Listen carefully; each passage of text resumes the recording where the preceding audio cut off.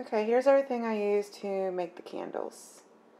Uh, of course, you need dragon's blood, and I will get a chunk and show you how much I need of that once I grind it up in the mortar and pestle. You'll need a mortar and pestle.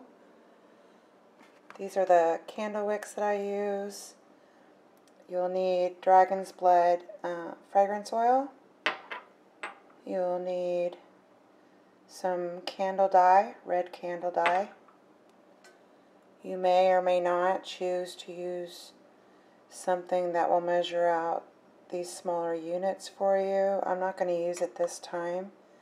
So this is not necessary. This is just if you want to keep track of exact recipes. I have these uh, votive molds. You can see they each come with a little centerpiece and that's to leave a hole in your candle where you can put the wick through.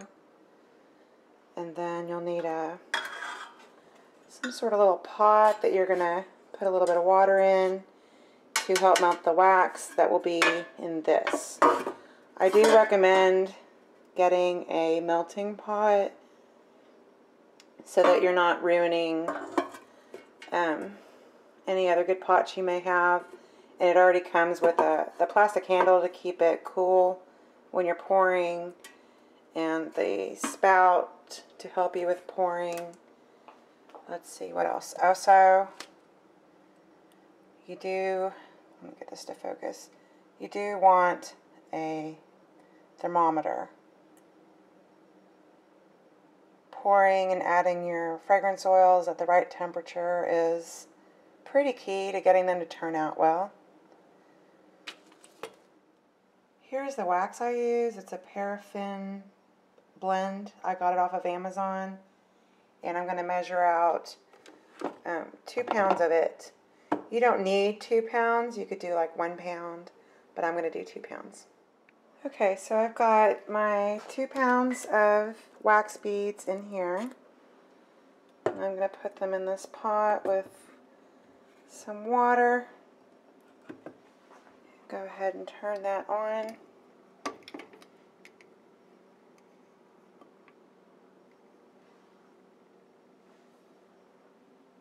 And I'll let that melt down a little bit and then I'll be ready to add the rest of the stuff we need, the fragrance oil and the dye. Alright, so when this gets all melted down and gets into this green area there, let me zoom in, to about 175, that's when you want to add your fragrance and dyes and then you can pour it at when it gets down to 170.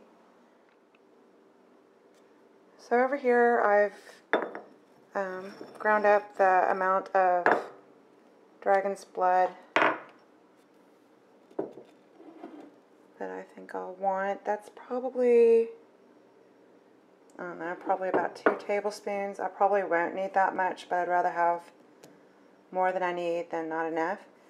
If you don't want to do all this and you don't want to get big chunks of dragon's blood, you could probably buy a small pouch of already ground up dragon's blood, probably on Etsy or Amazon or someplace like that. So don't feel like you have to do all this or invest in that much dragon's blood. You know, there's more uh, economical ways of doing this, just to let you know. Okay, so I'm going to let the wax melt down, and then we'll add our fragrance and our color, and then I'll show you how I lay in this resin from the dragon's blood.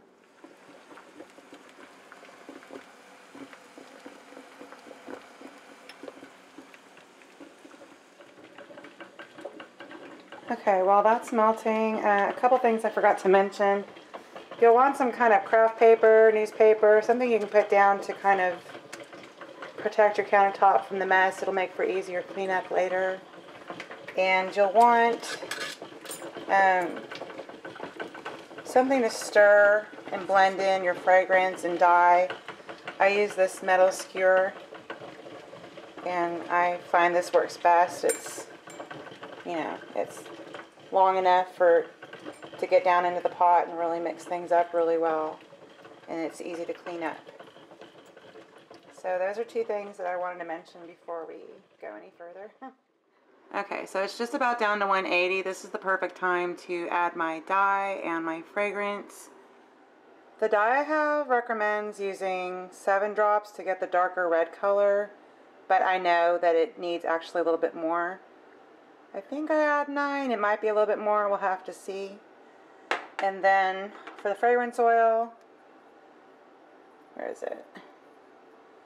Yeah, this is 30 milliliters, and so I only need 15 milliliters for two pounds of the wax. So this is half a bottle, so I'll just go ahead and pour this in. I'm going to add those two things, and um, then I'll show you how it looks. And then I'll show you how I layer up the dragon's blood with the candles. Okay, so I ended up adding 18 drops for two for two pounds of wax. So this called for seven drops for one pound of wax. So I used nine pound uh, nine drops per pound of wax, just to let you know. And then I put the wax back on to make sure it got up to temperature for the oops, to make sure it got up to temperature for the fragrance oil, which you want it to be at 175, and that's where it is now. So I'm going to take it off the heat again and add my fragrance oil, and then we'll pour the candles.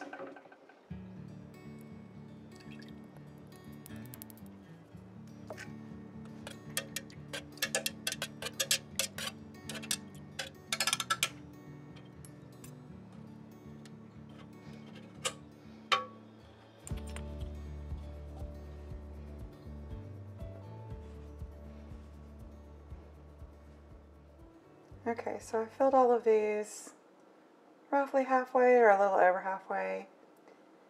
And I'm going to let them set, not completely, but just till there's a little bit on top where you'll be able to see. I'll show you what it looks like to where it's set just enough that I can sprinkle the resin onto the candles. And then once it's completely set, then I'll layer up the second half and do the same thing. So I'm going to let these set for a little bit and then when they're ready I'll show you um, kind of what they should look like when you're ready to add your resin. Okay, I think you can see how they're starting to develop a little bit of uh, sort of like a skin to them where they're just starting to harden up. That's when you want to sprinkle your resin around on the candles. It'd be uh, pretty hard for me to do this the way I do it and hold the camera at the same time. So just to let you know, I roughly take about about a teaspoon, give or take, sprinkle it around each candle while this is setting, let it set completely, and then come back and do it again. So I'll show you what they look like once I get the resin on. Okay, so here you can see um, the resin sprinkled on. I mean, it's just sort of like sprinkling cinnamon on cinnamon toast, you know what I mean? and I used actually um, like less than one teaspoon. And you're just, you know, let me see.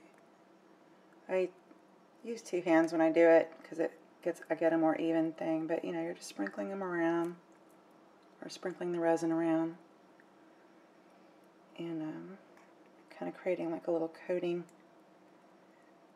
oops, there you go, for each candle. And then once it's all set, I'll come back and do it again. And of course you could do this with any, you know, any resin that you like, any herb that you like. You could do these candles so many different ways. But these are one of my favorites, so this is why I thought I would just go ahead and show you how I do it, because I needed to make a new batch anyway. Alright, so I'll let these set, We'll come back and do it again, let that set, and then we'll pop them out and I'll show you what they look like. Alright, the candles are set enough to go ahead and top them off now.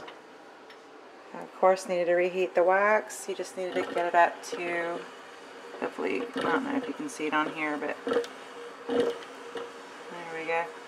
You want to get it up to like 170, between 170 and 175 to pour, okay?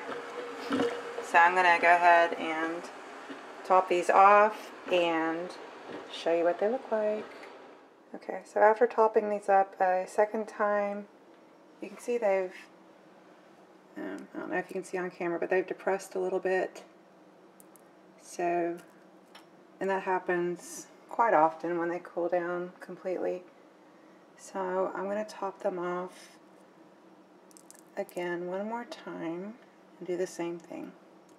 Alright, here we go. I've got the wicks in, I just need to trim them down.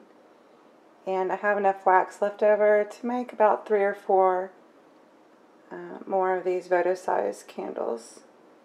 So I hope you enjoyed this. I hope you're having a great day or a great evening, whatever the case may be. And I'll see you soon. Bye.